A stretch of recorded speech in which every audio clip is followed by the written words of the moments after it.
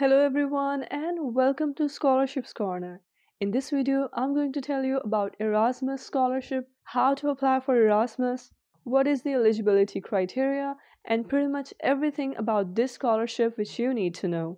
So let's get started. If you haven't subscribed to our channel yet, then do subscribe to get daily updates about scholarships, fellowships, internships, and much more.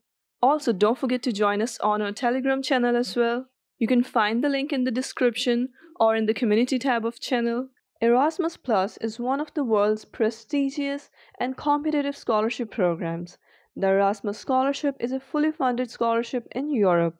In this video, you will learn about Erasmus overview, how to apply for Erasmus Scholarship 2021, the general eligibility criteria for this scholarship, required documents for Erasmus, key points for increasing your chances of selection, some frequently asked questions, motivation letter with sample, letter of recommendation with sample, and some interview tips.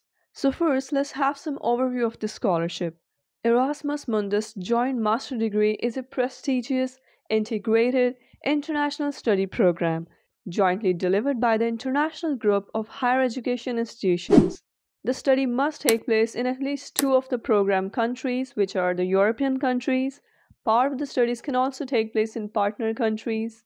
This scholarship program is a study program of 60, 90, and 120 ECTS, of roughly two years. This means that it lasts from a minimum of 12 months to a maximum of 24 months. Students at the master's level worldwide can apply for this scholarship program. You must have obtained first higher education degree or demonstrate a recognized equivalent level of learning according to the national legislation and practices in the degree awarding countries. If you have already received an Erasmus Mundus master course, you are not eligible for an additional scholarship. You cannot benefit from EU funded scholarship scheme while you are receiving the scholarship. If we talk about the academic outcome of this scholarship, the successful completion of the study program will lead to the award of either a joint degree or multiple degrees. If you talk about the financial support, to receive Erasmus financial support, you must first be admitted into the course by the organization and then be selected for the scholarship. In Erasmus Mundus joint master degree, not all students get Erasmus Plus scholarship. Such students who are not awarded a grant can study if they can bear the expense of the program.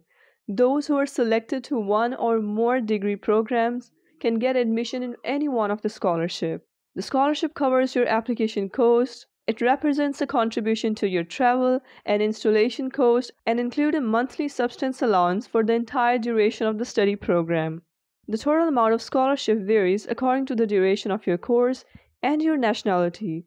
The exact amount may vary from the upcoming batches, so I'm not mentioning any such detail here. However, the stipend is sufficient enough to study in any country of Europe and live a normal life. The stipend and scholarship are received once you reach your first university for the semester in the home country. Before leaving your home country, you have to arrange your air ticket and some related visa expenses.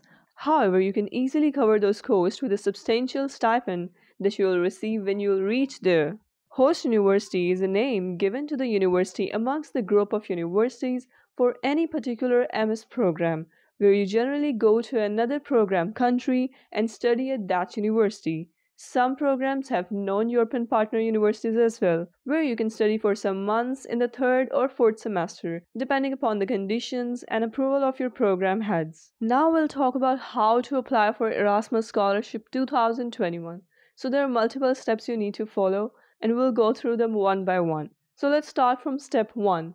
Students should consult the online Erasmus Mundus Joint Master Degree Catalog and contact the consortium offering the master course for more information on courses and application procedures. Most master degree programs will open applications around late October and require applications to be submitted at maximum between December and January or sometimes maybe until February. Some new MS programs are added to the list of offered MS programs each year when the catalog gets updated and some may be removed as well. So while checking the link above, Keep in mind it is for applicants who are now already selected for 2020 2022. Those who are reading for coming calls, starting degrees, you should bookmark or save the above link and check back later in October 2020. Students can apply to a maximum of three different programs. Students should contact directly the relevant master degree coordinators for more information on courses and application procedures. Let's talk about one of the most important points, which is the general eligibility criteria. 16 years of education. You need to have a 16 years of education. Number two, you should be proficient in English. To be on the safer side, take IELTS TOEFL latest by October November. Most programs require 6.5 and some need 7 scores in IELTS or equivalent in TOEFL. Some programs also require that no individual score within IELTS is below 6. Next thing is you need a passport as an identity document to apply. So apply for it and keep it ready around September, October. Most programs applications open in October and end variably around January, February, or even March. Opening of applications and deadlines to apply vary from program to program. These are the documents you need to have while applying for Erasmus Mundus. Number 1, your degree and transcript. Number 2, two letter of recommendations. Next, motivation letter, IELTS and TOEFL scores, CV in Europass format, valid passport, certificate of residence. We have attached a sample certificate of residence. The only thing they're checking through this letter is that you shouldn't have lived for 12 months or more in Europe in the last 5 years.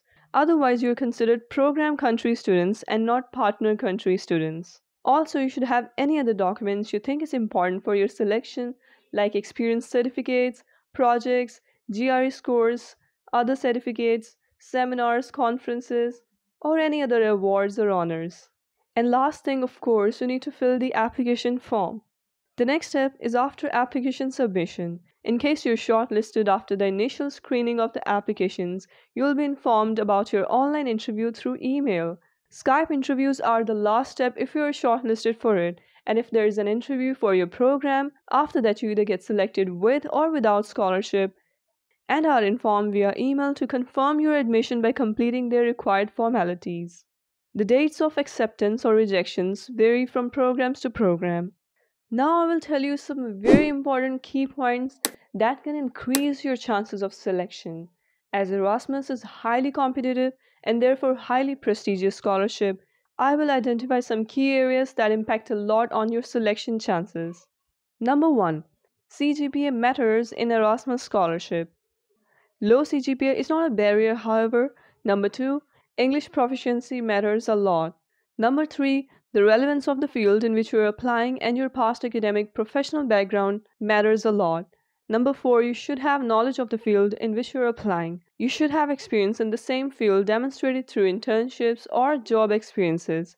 Number 6. Your intent and ability to study and work in high diverse and cross cultural contexts. Number 7. Your motivation letter matters a lot more than you may dictate time for it. It can make or break the deal, irrespective of your CGPA. You can Google as well as how to write an effective SOP or motivation letter. Number 8. The letter of recommendations. Number 9. Your co curricular and extracurricular activities. And at the end, your passion and intent to study in a field you applied for, which should be demonstrated through motivation letter and an interview plus by taking relevant courses and internships. Now we'll move towards some of the frequently asked questions about this scholarship program. So first question is, how can I improve my profile and increase my chances of selection? Apart from your educational performance, your complete profile matters. So always make sure to take certificates for co and extracurricular activities, online relevant courses on Coursera, relevant internships, experiences, and projects. Next question is What if I get rejected for Erasmus? The biggest reason for rejection is not applying. Apply anyway. Take IELTS. Your hard work may meet Erasmus this time. Next, can I apply for Erasmus even if I didn't graduate from a top university?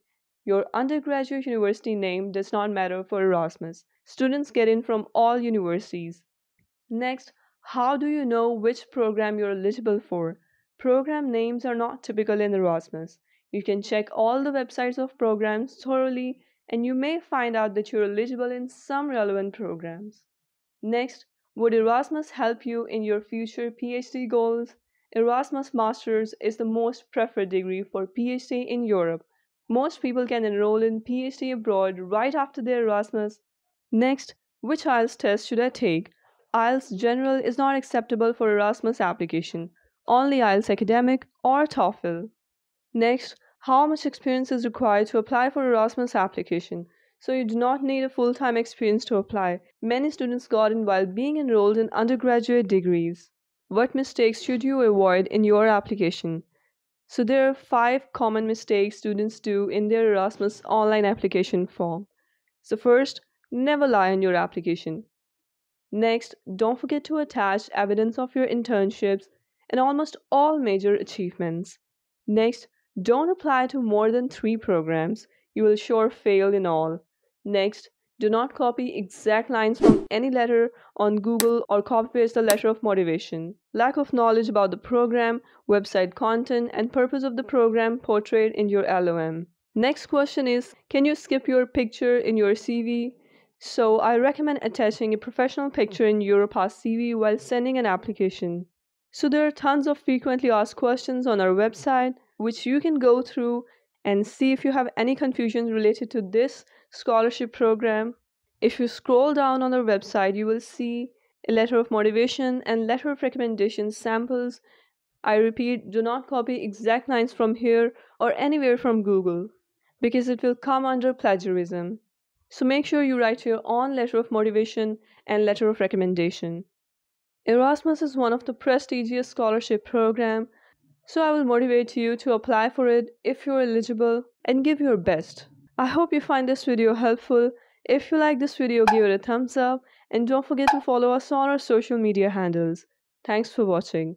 For more amazing and useful content, you can also join us on our Telegram channel. You can access the link which is present in the community tab. Meanwhile, if you haven't subscribed to our channel, then do subscribe and hit the bell icon to never miss any update.